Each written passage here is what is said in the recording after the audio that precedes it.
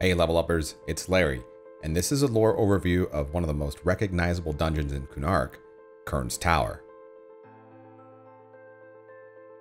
This story takes place back during the reign of Venril Sathir, who, at the apex of his empire's power, acknowledged that there were more sinister ways to ensure fear was perpetuated throughout the empire's domination. Violence is almost second nature to Iksars, and quelling any dissent or rebellion through said violence helped safeguard complete control over the Empire. During a time where Iksars were conquering, enslaving, and murdering all those who resisted across Kunark, it eventually got to a point where the processing of enemies of the Empire could be streamlined. Kurn Machta, a byproduct of the Iksar way of life, was always obsessed with torture he was unforgiving to his enemies on the battlefield during his military campaigns, and that paired well with his loyalty to Venril Sathir, who decided that Kurn be promoted to the Imperial Interrogator and Executioner. In this role, Kurn had free reign to spread fear and collect subjects for his torturous ways completely unchecked. Seeing this as an effective way to consolidate the torturing efforts, Venril Sathir ordered that Kurn be built a massive tower to serve as Kurn's violent playground. Even though Kurn had his own tower, he remained very active at the front lines of Warsliks Woods, pushing an aggressive offense against the Giants.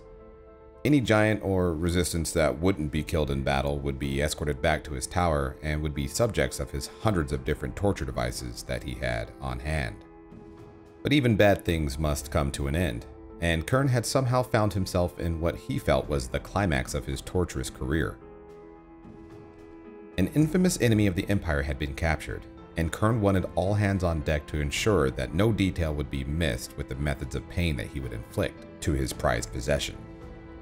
So much detail, in fact, that it took the attention away long enough to allow a prisoner to attempt escape. The prisoner was being held captive in the basement of the tower, which also served as a massive storage to malfunctioning or decommissioned machines of torture. In desperation and in sheer fear, the prisoner fashioned a tool to help him dig a tunnel far enough away from the evil tower to escape what was most certainly going to be a slow and painful death. Tragically, the prisoner wouldn't find the exit. Instead, he would find his fate by digging right into a portal that would unleash the dark children of Brell Serilis, the Burynai. The Burynai, who were quite proficient with necromancy and mysticism, would advance into the basement depths of Kurn's tower, and would be disgusted by what they would discover. They immediately determined that it would be existentially necessary to destroy all that they could within the tower as quickly as possible. The swift advance would take Kurn completely off guard, and he would be captured. In a twist of fate, Kurn found himself at the receiving end of the torture process, and he would be tortured for an entire year before eventually succumbing to his wounds. Tapping into the dark arts, it's suspected that the Burynai raised the fallen jailers and other Iksar inhabitants into a state of undead torment as eternal punishment.